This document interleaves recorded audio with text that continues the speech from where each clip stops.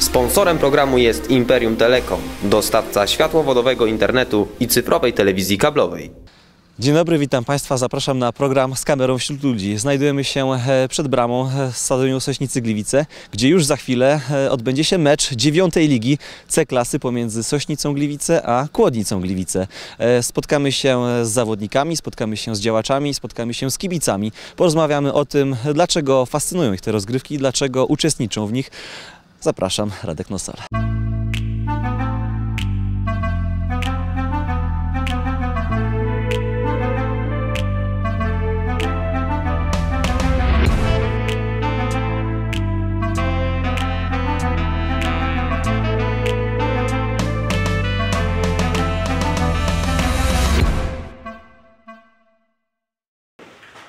Masz ją mieć na radar i to będzie jak on startuje, od razu do niego startujesz i ca, cały czas go trzymasz tego, nawet na, na, na, na radnej bramie. Jeżeli wyjdziemy w okolice 16-18 metra, to będziemy na bramkę, tak ma tu się bawić. Damian, czy powiedzmy Tadziu. Ja już się... O trzy punkty po kolejne zwycięstwo po Nie, awans. panowie, jedziemy! Pomagamy sobie. Sysy, sysy! Zasina! To wygramy! Kłowica! Dawaj, dawaj, dawaj. Tydzień temu e, ograliśmy bramę Kamieniec 2 do 0. Bramki dla naszego zespołu strzelił Barański oraz e, Piotr Kurecz, Kureczko. To wygramy! Kłowica! Marek Bukłacki, który ma na koncie 10 bramek, a już za nim e, Paweł Barański, który ma tych bramek 9. Także Bramkarz, na szybko musi pan zmienić dzisiaj Na takiej jak rozgrywa chyba nie może pan grać w takich samych wiatrach jak przeciwnicy praktycznie. Białe proszę założyć. Następującym ustawieniu e, w bramce Łukasz Darbacz z numerem 12, e, następnie Adam Kureczko numer 14, e, grający trener to Michał Petrowicz z numerem 13, e, następnie Kamil Smaga z numerem 11, 15, Jędrzej Jasiński z numerem 10 oraz Kamil Sobura z numerem 9. E, W rezerwie e, mamy jeszcze Krzysia Leńskiego z numerem 18, Bartka Pietrzaka,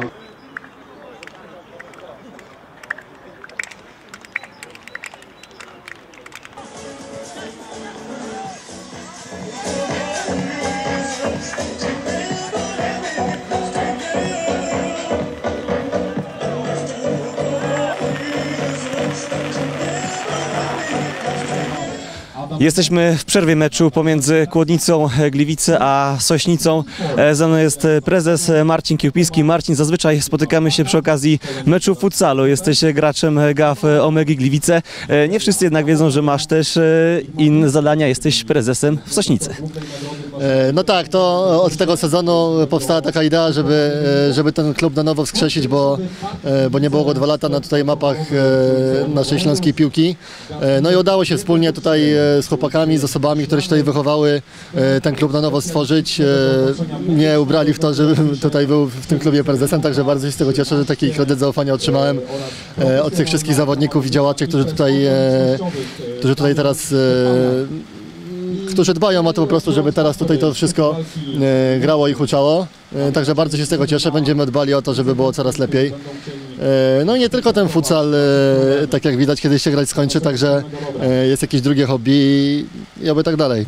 To jest tylko hobby twoim zdaniem, czy za tym kryje się jakaś większa idea? No bo tak jak mówisz, e, wychowankowie głównie byli e, jakby pomysłodawcami, e, żeby powstał na nowo ten klub, a klub ma dosyć sporą tradycję. Sośnica, Sośnica ma aż tradycję od 1945 roku.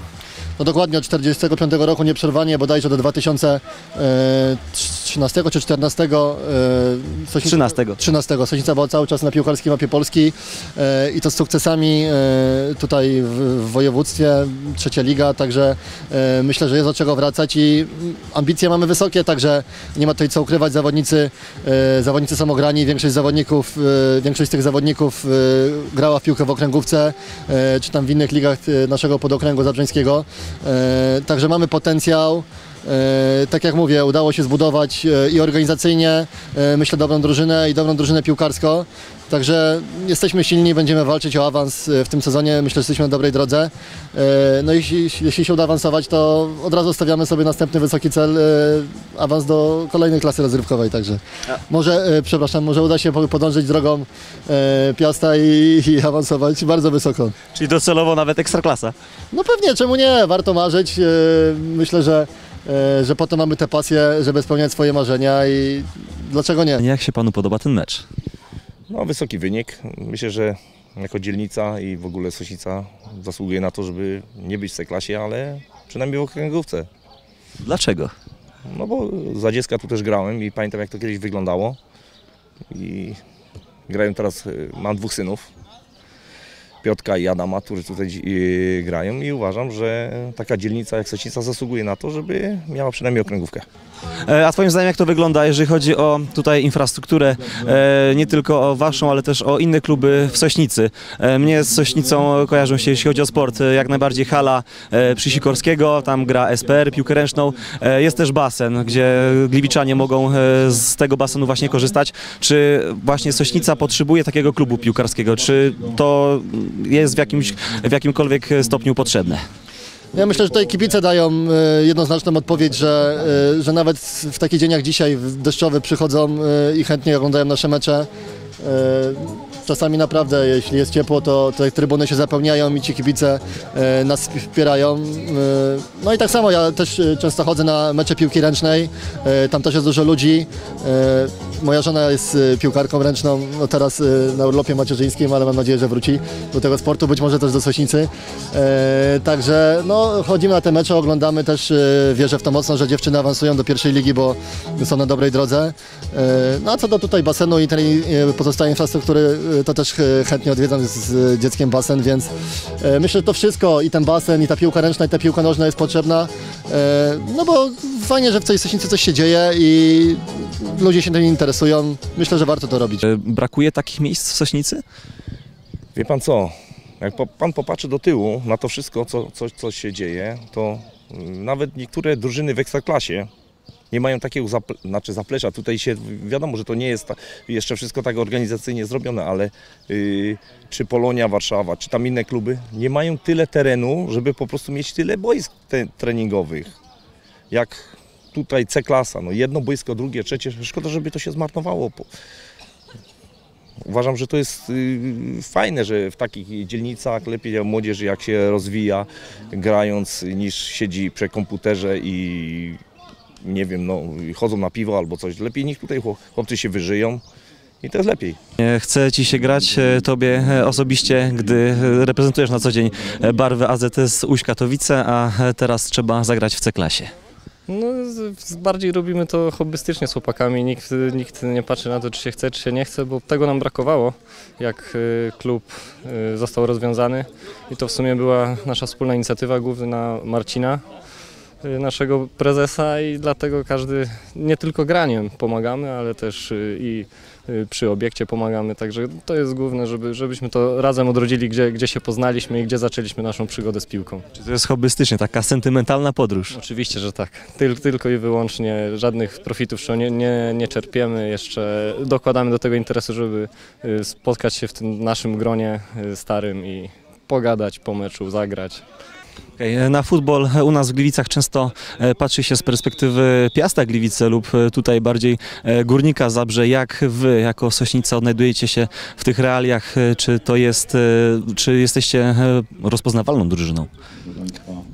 Tutaj w, w, dzielnicy, w dzielnicy oczywiście, że tak. Dużo, dużo osób wspominało, jak to było za czasów, za czasów jak jeszcze był gazet, GZKS czy KPN. A, I tego brakowało, żeby, żeby przyjść właśnie ze znajomymi, porozmawiać, zobaczyć ten mecz raz, raz w tygodniu, w sobotę. a- I chcieliśmy koniecznie, żeby to wróciło. Oczywiście, takich- wiadomo, że nigdy to nie będzie, nigdy to nie będzie Górnik Zabrze, który jest tam niedaleko od nas, bo wiadomo, że y, klub mamy jeden, któremu kibicujemy gór, y, Górnikowi, ale y, po prostu takie, taka okręgówka czy coś, to jak najbardziej tutaj jest skazana dla, dla młodych chłopaków, żeby się rozwijali, a może kiedyś się nawet wybiją stąd i gdzieś y, wyskoczą, jak choćby, nie wiem, Lubański, który stąd jest.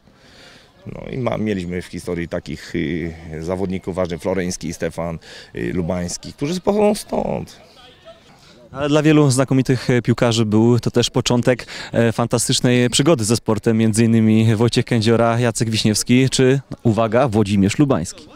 Tak, tak, nawet jeszcze Joachim Marks, ale to, to zawodnik y, ruchu Chorzów. Dużo, dużo zawodników y, z Ekstraklasy się przewinęło, też mają sentyment do tego. Wiem, że, że też Łukasz Podolski y, wie, wie co nieco na temat, na temat Sośnicy. Kolejna bramka 8 do 0.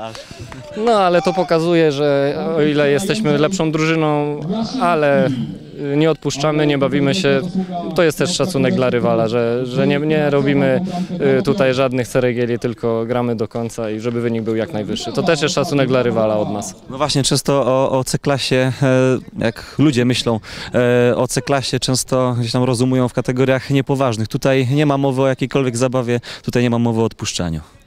No, czy w naszym wypadku to było jasne od razu przed sezonem, że musimy awansować y, do B klasy i najlepiej jak w następnym roku awansujemy do A klasy. To jest ten cel, cel na, na najbliższe dwa lata, a co będzie dalej zobaczymy jak to będzie czasowo i też pewnie y, fundusze będą potrzebne nieco większe. Z prezesem przed chwilą rozmawiałem, marzy nawet o Ekstraklasie. Oczywiście, wszyscy, wszyscy marzymy, żeby przebyć taką drogę, nawet dłuższą niż Piast. Piast od B klasy, może nam się uda od C klasy, ale nie wybiegamy tak daleko w przyszłość. No a kiedyś było tu tak, że Sośnica miała jako klub y, byliśmy w 1.32 Pucharu Polski, przegrali, graliśmy, y, wyeliminowaliśmy Zagłębie Wałbrzych i graliśmy z Górnikiem Knurów, przegraliśmy tutaj 1-0. Y, To byli starsi koledzy ode mnie, nie, nie tego, ale kibicowaliśmy tutaj, był cały stadion, było bardzo, to było takie największe nasze osiągnięcie. Kiedyś się nazywało Górnik Sośnica, potem GZKS Sośnica, no teraz jest chyba mm, Sośnica. KS. KS Sośnica. No i tyle. No. Niech, niech wróci coś dobrego, pozytywnego. Moim gościem jest teraz e, Michał Piotrowicz, e, trener, grający trener e, Sośnicy. No już teraz wynik e, 8-0 dla Ciebie, mecz e, też już się skończył. E, Nie pozostawiście żadnych złudzeń drużynie Kłodnicy. No dokładnie, cel, który sobie założyliśmy przed ligą to awans. Chcemy każdy mecz wygrać, a jak się da, to wygrać go jak najwięcej. No właśnie, dobrą, dobrą pasą się teraz e, wykazujecie w ostatnich meczach. Y, No tak, no tak jak mówię, trenujemy po to, żeby grać, żeby wygrywać. Na treningach mamy swoje założenia, które ćwiczymy i w meczach staramy się je realizować. No i jak widać w dzisiejszym meczu, y, no zdaje to egzamin. Dużo zawodników z ekstraklasy futsalu dzisiaj na boisku możemy zobaczyć, zwłaszcza po stronie e, tej e, Sośnicy. Czy to jest, e, chyba nie jest dla nich prestiż występować w takim, w takim meczu, aczkolwiek na pewno robią to z wielkim sentymentem. Przede wszystkim są to zawodnicy stąd, z tej dzielnicy, z tym klubem się utożsamiają, tutaj się wychowali na tej dzielnicy i, i chwała im za to, że tu grają, bo ciągną ten zespół. Musimy sobie szczerze to powiedzieć, że to jest trzon tego zespołu i no i ciągną naszą grę i dają tą różnicę, natomiast reszta zawodników trenuje po to, żeby im dorównać i, i oni są nam, nie, no nie ukrywajmy, są nam potrzebni po prostu. Sentyment to jest e, jedyny powód, dla którego wznowiliście e, niejako rozgrywki e, w tej C-klasie. No, wcześniej Sośnica miała bogatą historię.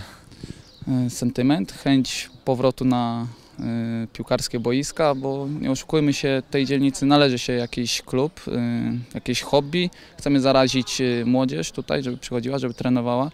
E, Zresztą jak widać na zespół, zespół w zasadzie składa się w 99% z osób z Sośnicy tylko i wyłącznie. To jest tylko jednostronna gra i nic poza tym, nie? No. Podoba się panu mecz? Bardzo mi się podoba to ze względu na to, że im kibicuję i dlatego, nie? No. Od jak dawna pan kibicuje temu klubowi? Od samego początku, no to, co można powiedzieć. No to jest akurat, fajnie jest, no. Mecz się właśnie zakończył e, z solidnym pogromem. Solidny program, niestety. Akurat tu syn gra i dlatego też przychodzę, no ale nie, nie tylko dlatego, mieszkam blisko. Nie? No, cieszymy się. E, obawialiśmy się trochę tego meczu. W zeszłej rundzie, jak graliśmy tam na Brzezińce z chłopakami, to pierwsza połowa była ciężka, gdzieś nie umieliśmy bramki strze- strzelić, no ale jakoś później poszło i podobnie było tutaj. Początek dobrze zaczęliśmy, a później już wiadomo, bramka za bramką. E, Od wielu rozmówców e, przed chwilą usłyszałem, że Sośnica jako ogromna dzielnica bardzo potrzebuje klubu piłki nożnej. Twoim zdaniem również? No nie, no oczywiście, przecież tutaj się wychowaliśmy, tak naprawdę każdy z nas tutaj spędził połowę dzieciństwa na tym stadionie i jak tutaj ten klub no niestety został zamknięty, no to nie wiem, no dla mnie to dramat jakiś był. Postanowiliśmy to wziąć we własne ręce, no i jak widać kibice przychodzą, ludzie się fajnie bawią, można zjeść kiełbaskę, zobaczyć kawałek piłki, no myślę, że super sprawa. Czyli niesamowita e, atrakcja dla lokalnej No, tak społeczności. mi się wydaje, że trzeba wspierać takie rzeczy i, i na pewno nie można przeciwdziałać temu, tak jak gdzieś tutaj kiedyś ten klub ktoś zamknął niestety. A jak to się stało, jeszcze e, raz powrócimy do tematu futsalu, że tylu zawodników e, z Sośnicy reprezentuje. Jest to dziwne, ale naprawdę e, wszyscy się śmieją, że Sośnica mogła swoją drużynę zgłosić i spokojnie by sobie radziła w tej ekstraklasie. No, nie wiem, jakoś tak się zdarzyło, że tutaj właśnie zawsze przez Sośnicę, gdzie ona się łączyła z halą, trochę z tymi klubami gliwickimi, halowymi, zawsze to jakoś tak ci zawodnicy byli i na boisku, i na hali. No i tak nas zostało kilku w tej lidze, więc...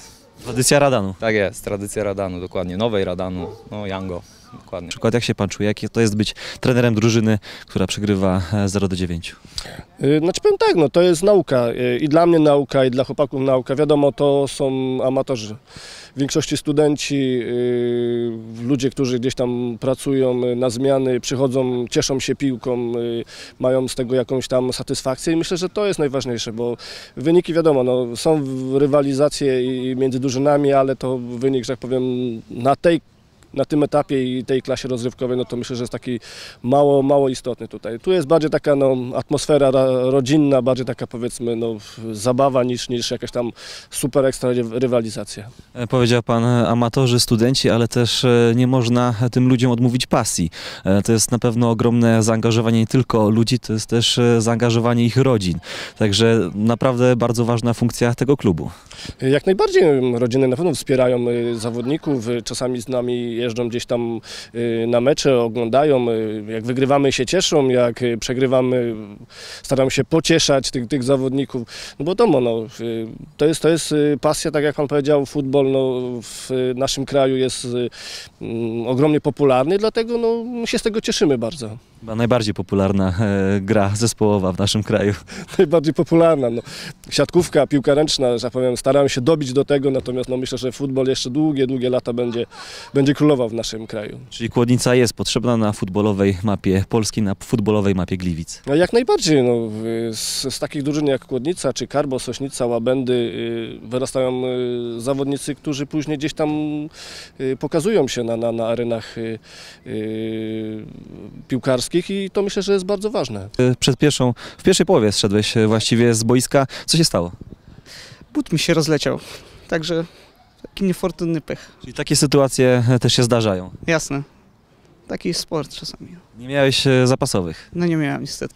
Zazwyczaj e, przy okazji e, mówienia o sporcie, mówienia o, o piłce nożnej w naszym mieście mówi się z perspektywy e, z poziomu Piasta, Gliwicy czy, czy Górnika Zabrze. Tam w, w klubach często na szczeblu zarządzania jest mnóstwo osób. U Was to jest zaledwie garstka. Z jakimi problemami oni muszą się zmagać? Znaczy problemy, no, problemy jak ym, można powiedzieć na takim etapie, no, każdy, każdy klub ma, no to kwestie finansowe. Yy, wiadomo, że tutaj yy, robimy to z, z pasją, często nie patrzymy na to, że musimy teraz yy, własnym samochodem gdzieś tam dojeżdżać, zbierać zawodników, yy, załatwiamy stroje, yy, robimy treningi, yy, kombinujemy ze sprzętem, piłki, yy, narzutki, no wszystkiego rodzaju. No to powiem szczerze, jest zawsze jakiś tam problem, przy czym no, jeżeli człowiek chce, to potrafi i myślę, że y, dużo właśnie jest y, y, taką powiedzmy mm, alternatywą wolontariatu, gdzie, gdzie możemy to y, tutaj ogarniać i cieszyć się tym, bo tak jak mówię, pieniądze z tego no, nie są jakieś ogromne i, i tu pieniędzy, że tak powiem, nie będziemy liczyć na, y, na, na, na tym terenie, na tym płaszczyźnie. Dlatego no, pasja, zaangażowanie, chęć, radość z tego, co robimy i to jest myślę najważniejsze tutaj. Jest klimat, jest idea. E, Jeszcze warto wspomnieć o takiej rzeczy jak infrastruktura. E, To na pewno Wam e, w dużej mierze pomaga. No tak, tutaj ten obiekt dzięki uprzejmości najemcy mamy tak naprawdę prawie za darmo, tak? Więc to jest dla nas duża, duży taki plus i, i dużo nam finansowo to odciąża jakby nas i, i tutaj chwała za to najemcy, że, że pozwala nam tu grać, że, że gdzieś tam kosi nam to boisko przed meczami i, i no cieszymy się, tak? Bo możemy, przychodzimy tutaj i i mamy zapewnione to, że, że będziemy mieli gdzie grać, a nie będziemy się musieli martwić, żeby wynająć sobie jakąś sztuczną murawę, żeby gdzieś tam jeździć po innych boiskach. No nie, na szczęście mamy tutaj swój obiekt i, i z tego się cieszymy. Wspomniałeś o koszeniu, wspomniałeś o, o innych aspektach prowadzenia tego klubu. Z jakimi e, problemami musi się zmagać e, sztab? Nie wiem, czy u Was jest sztab. Z jakimi problemami muszą się w Waszym klubie e, spotykać osoby zarządzające właśnie tym klubem? Na pewno te finanse to będzie zawsze takie, takie coś, że, że będzie trudno o to, żeby była taka stabilizacja taka pełna, tak? Gdzieś tam umówiliśmy się z chłopakami i też tutaj z tego miejsca chwała, chwała każdemu z osobna za to, że umówiliśmy się na jakieś tam składki miesięczne i, i naprawdę dużo ludzi to płaci, nawet y, ci, którzy w klubie nie grają i nie, po prostu nie ma ich w klubie, wpłacają na, na konto nam pieniążki i, i, są to mieszkańcy tej dzielnicy i, i chwała im za to, więc więc jakoś tam ciągniemy ten wózek no i jest okej, tak. Mieszkańcy mieszkańcom. Dla mieszkańców to również jest ważne, dla tej lokalnej społeczności tutaj, żeby, żeby być, żeby mieć e, taką atrakcję jak klub piłki nożnej. No myślę, że tak. Szkoda, że dzisiaj nie dopisała pogoda, bo e, zdarzały się mecze, że tutaj ciężko było miejsce znaleźć, żeby sobie usiąść, więc, więc też na pewno kibice się cieszą z tego, że ten klub istnieje i, i też jak jest, jak pogoda by dzisiaj dopisała, to liczę, liczę na to, że myślę, że cztery razy więcej kibiców by, by przyszło niż, niż dzisiaj oglądaliśmy, więc dla nich to też jest na pewno i frajda, bo gdzieś tam dzieciaki tu mogą przyjść, jakieś konkursy organizujemy, więc myślę, że dla, dla mieszkańców tutaj też to jest bardzo fajny aspekt, e, ten klub. A ile zwykle kibiców Was tutaj odwiedza? Maksimum było chyba z 200 osób tutaj na tej jednej trybunie stało i naprawdę wyglądało to kapitalnie, jeszcze tam mamy drugą stronę, e, tam też e, kibice sobie siadają, więc naprawdę aż się wychodzi i serce się raduje, że, że taka liczba przyjdzie i ogląda nasze mecze, tak? Oprawy jakieś były? E, chyba była jedna, ale nie, nie kojarzę, ale chyba, chyba race były odpalane, więc też się zdarzają takie aspekty. Chwilę wcześniej wspomniałeś o pogodzie. Jak bardzo trzeba kochać ten sport, żeby w takiej ulewie wyjść na mecz e, w C-klasie, walczyć na całego?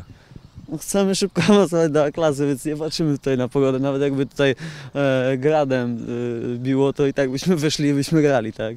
Walczymy o to, gdzieś tam myślę, że ten awans jest w zasięgu ręki i, i do tego dążymy. Więc dlaczego uważasz, że e, właśnie ta dzielnica zasługuje na piłkę nożną? No tak, tak jak wspomniałeś, ma bogatą historię. Tutaj jest kopalnia, zawsze kopalnie dotowały piłkę. No niestety czasy są teraz troszkę inne i, i, i o te finanse jest ciężko, natomiast zawsze tu była dobra drużyna, dobra młodzież. Y, No i chcemy nawiązać do tych tradycji. Kiedyś, kiedyś zespół nazywał się GZKS, dzisiaj jest to KS, więc my chcemy nawiązać do tradycji GZKS. Właśnie wspomniałeś o GZKS-ie. E, Nie jest tajemnicą, że ja również kiedyś trenowałem i grałem w tym klubie. Powiedz, czy w ogóle w historii e, tego klubu był jakikolwiek słabszy zawodnik niż ja? No nie, no byłeś diamentem. y, Niestety nikt nie wynalazł takiej tarczy do szlifierki, żeby cię oszlifować, ale no, Radziu, zapraszamy cię na trening. Myślę, że jeszcze będą z ciebie ludzie.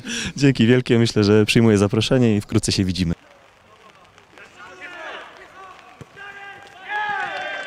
Dziękuję Państwu bardzo. Był to program z kamerą wśród ludzi. Przed chwilą właśnie mecz się zakończył. E, Szkoda trochę, bo właśnie zaczęło się rozpogadzać, ale e, wynik 9 do 0 dla Sośnicy nie pozostawił wątpliwości. E, Sośnica rządzi w Gliwicach, przynajmniej w C-klasie. Dziękuję bardzo za uwagę. Radek Nosal, do widzenia.